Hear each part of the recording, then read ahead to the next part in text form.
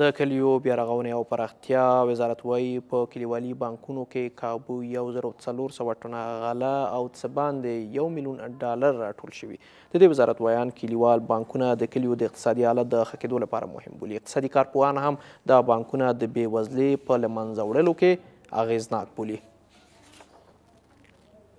د کلیو د بیارغونې او پراختیا وزارت چارواکي وایي د هیواد په یو سلو څوارلسو ولسوالیو کې د غلې دانې د څلور زره زیرمو جوړېدو سره به شاوخوا دوولس زره کورنیو ته خدمات وړاندې شي له دې زیرمو به له بېوزلو کورنیو سره د مرستې لپاره ګټه واخیستل شي د کلیو د بیارغونې او پراختیا وزارت ویاند وایي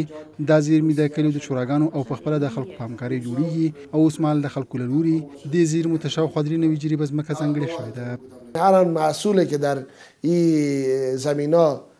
آسل میته و تولید میشه اینا به بانک های غله انتقال داده میشه و همچنان به شکل نقدم بیشتر از یک میلیون دلار امریکایی از طرف مردم در این بانک ها جمع شده و مجموع تعداد بانک هایی که ما تا حالا ساختیم حدود چهار هزار و یکصد و چهل و دو بانک پیمول شد. دا زیرمې چې د خلکو له لوري د کلیو د شوراګانو تر څارنې لاندې جوړیږي، پیسې او د کروندو او بڼونو حاصلات پکې راټول او د اړتیا پر مهال یې پر غړیو ویشل کیږي. اخوا د اقتصادي چارو یو شمېر کارپوهان وایي، د دې زیرمو جوړېدل به له سرچینو پر ښې ګټې اخیستنې او له بېوزلو سره پر مرستې سربېره د اقتصادي خوځښت او د کوچنیو اقتصادي فعالیتونو د رامنځته کېدو سبب شي. میشه که که فرمای مقداری جور کنن فرمای لبنیات جور کنن چیزایی است که در قریجات امکاناتش میسر است با استفاده از این فرصت اینا میتونن گردش پولی ایجاد بکنن کار ایجاد بکنن عواید بالا ببرن در قریجات و از طرف دیگه ام بیکاری در سطح قریجات کاهش بدن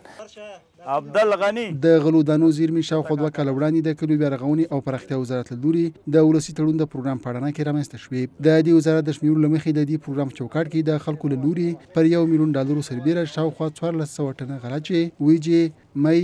او نخود پکې شامل دي، راټوله شوې ده.